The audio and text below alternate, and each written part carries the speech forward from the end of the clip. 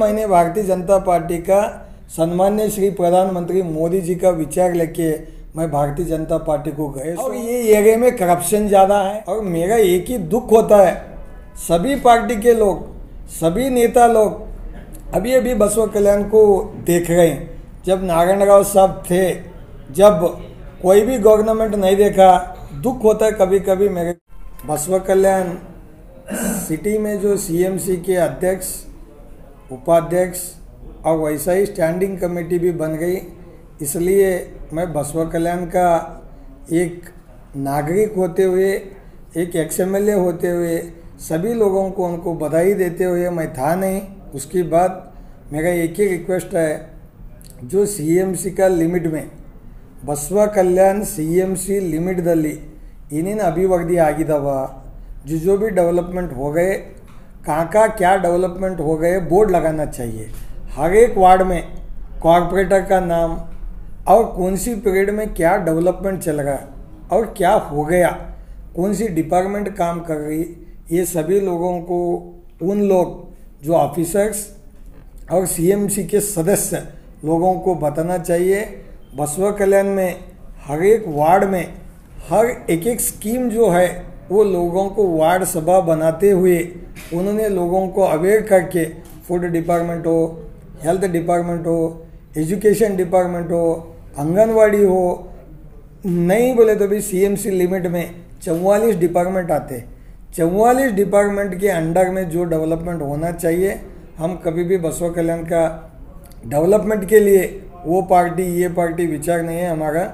हम सपोर्ट करने के लिए कभी भी ಸಿ को तैयार हैं। देखो मैंने ಈ ಏರಿಯಾದಲ್ಲಿ ಬಸವ ಕಲ್ಯಾಣದಲ್ಲಿ ಒಂದು ಮೇಜರ್ ಯಾವುದೇ ಈ ಭಾಗದಾಗ ಕೈಗಾರಿಕೆಗಳಿಲ್ಲ इंडस्ट्रीज नहीं है हम एक एक रिक्वेस्ट करते हैं इस एरिया में कोई तो कोई एक दो चार बड़ा इंडस्ट्रीज आना बोल के हमने ऑलरेडी इंडस्ट्रियल मिनिस्टर हमारे एक्स सीएम और प्रेजेंट मिनिस्टर जगदीश शेट्टर साहब को हम रिक्वेस्ट करे सो हैं हमारा मोस्ट बैकवर्ड एरिया है बसवा कल्याण इस एरिया में कुछ ना कुछ हमारे एरिया को डेवलपमेंट को आप इंडस्ट्री लाने सकता अच्छा के भी इस एरिया में इंडस्ट्रियल डेवलपमेंट जगह बना के नए इंडस्ट्रीज़ लाने में हमको सपोर्ट करो बोले तो उनकी उम्मीद है आने वाले दिनों में इस एरिया में डेवलपमेंट को सपोर्ट के लिए टैग तुम बोल के बोले।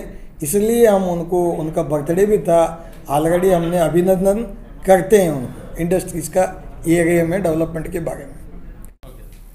ಬಸವ ಕಲ್ಯಾಣದಲ್ಲಿ ಈಗಾಗಲೇ ಗ್ರಾಮ ಪಂಚಾಯತ್ ಚುನಾವಣೆ ಕಾವಿದೆ. ಅದೇ ರೀತಿ ಎಂ ಎಲ್ ಎ ಚುನಾವಣೆ ಬಗ್ಗೆನೂ ಕೂಡ ಎಲ್ಲರಿಗೂ ಚರ್ಚೆ ಮಾಡ್ತಾ ಇದ್ದಾಗ, ಭಾರತೀಯ ಜನತಾ ಪಾರ್ಟಿದಾಗ ಎಷ್ಟು ಅಭ್ಯರ್ಥಿ ಇದ್ದಾಗ ಸಂಪೂರ್ಣವಾಗಿ ಎಲ್ಲ ಅಭ್ಯರ್ಥಿ ನಾವು ಎಲ್ಲೇ ಒಕ್ಕಟ್ಟಿದ್ದೆವು. ಬಸವ ಕಲ್ಯಾಣದಲ್ಲಿ ನಮ್ಮದು ಪಕ್ಷದಲ್ಲಿ ಯಾವುದೇ ಗೊಂದಲ ಇಲ್ಲ. ನಾವೆಲ್ಲರೂ ಒಕ್ಕಟ್ಟಾಗಿ ಬರ್ತಕ್ಕಂಥದ್ರಿಂದ ಭಾರತೀಯ ಜನತಾ ಪಾರ್ಟಿಗೆ ಯಾವ ರೀತಿ ಗೆಲ್ಲಿಸ್ಬೇಕು ಎಂಬುದರ ಬಗ್ಗೆ ಈಗಾಗಲೇ ಶ್ರೀಮಾನ್ ಭಗವಂತ ಖೂಬಾ ಸಾಹೇಬರು ಎಂ ಪಿ ಅವರಿಗೆ ಕೂಡ ಉಸ್ತುವಾರಿ ಹಾಕಿದಾಗ ಶ್ರೀಮಾನ್ ಉಪಮುಖ್ಯಮಂತ್ರಿಗಳಾಗಿದ್ದಂಥ ಲಕ್ಷ್ಮಣ್ ಸೌದಿಜಿ ಸಾಹೇಬರಿಗ ಮತ್ತು ಶ್ರೀಮಾನ್ ವಿಜೇಂದ್ರ ಸಾಹೇಬರು ಉಪಾಧ್ಯಕ್ಷರು ಭಾರತೀಯ ಜನತಾ ಪಾರ್ಟಿ ಅವರಿಗೂ ಕೂಡ ಈ ಭಾಗಕ್ಕೆ ಉಸ್ತುವಾರಿ ಹಾಕಿದಾಗ ನಾವೆಲ್ಲರೂ जो लोकल के जितने भी हम लोग कैंडिडेट्स हैं हम लोग दस बारह लोग कैंडिडेट पूरे मिलके हम हक के लिए लड़ रहे लोकल का कैंडिडेट को देने का भरोसा है। और मैं जब एमएलए ना न हूँ एमएलए को जब मैं राजीनामे दे के आए सो हूँ, मेरे को भी भरोसा है कि भारतीय जनता पार्टी हमको कभी हाथ नहीं छोड़ते और हाईकमांड के लोग हाथ नहीं छोड़ते। दस बारह लोगों में जो लोकल के जितने भी कैंडिडेट है, उनको जो भी पार्टी डिसाइड करती, सबके साथ हम भारतीय जनता पार्टी का काम करने के लिए तैयार हैं। और मेरा एक ही दुख होता है। सभी पार्टी के लोग, सभी नेता लोग अभी अभी बसवा कल्याण को देख रहे हैं।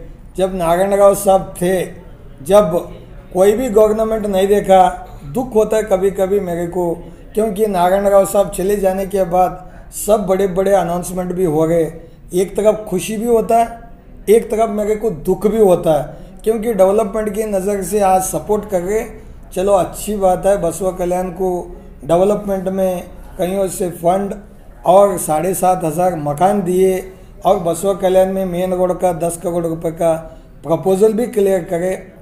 कईयों से जो नारायणराव जी का प्रपोजल थे, वो भी ऑलरेडी डेवलपमेंट का प्रपोजल में हैं और भारतीय जनता पार्टी से जो इस एरिया में, मैं पार्टी को गया एक ही उद्देश्य से कि ये एरिया डेवलपमेंट होना और ये एरिया में करप्शन ज़्यादा है, लोगों को तकलीफ़ ज़्यादा है, और ये एरिया में हक लोगों को नहीं मिलता है। इसलिए मैंने भारतीय जनता पार्टी का सम्मान्य श्री प्रधानमंत्री मोदी जी का विचार लेके मैं भारतीय जनता पार्टी को गए सो हूँ। फिर भी इस एरिया में ज़्यादा कंट्रोल होना चाहिए। अच्छे ऑफिसर्स बसवा कल्याण में आना चाहिए।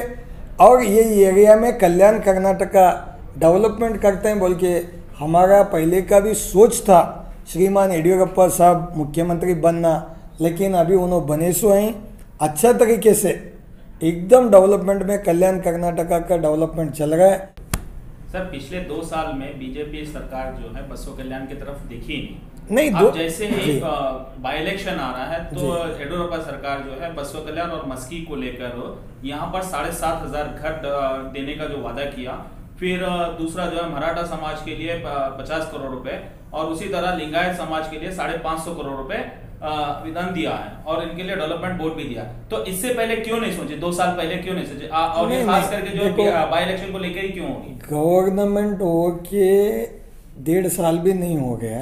पहले तो कांग्रेस और जेडीएस गवर्नमेंट थी लेकिन अभी भारतीय जनता पार्टी की सरकार है।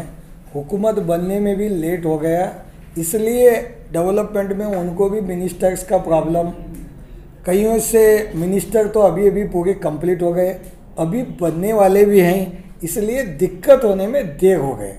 दिक्कत होने में देर हो गए अभी डेवलपमेंट होता। तो रिसेंटली जो वो स्लॉटर का बिल पास हुआ है स्लॉटर इसके बारे में आपका क्या कहना है? देखो वो बिल के बारे में जो बिल बनाए हैं हमारे हाईकमांड उनको आप पूछ सकते हैं अभी क्या होने वाला है उनके ऊपर है। इस पर जो आपका क्या उद्देश्य नहीं, मैं तो बहुत छोटा आदमी हूँ, पूरे मिलके बिल बनाए सो है, वो बिल जो भी पास होएगा, जब आपको क्लियर मालूम होएँगे।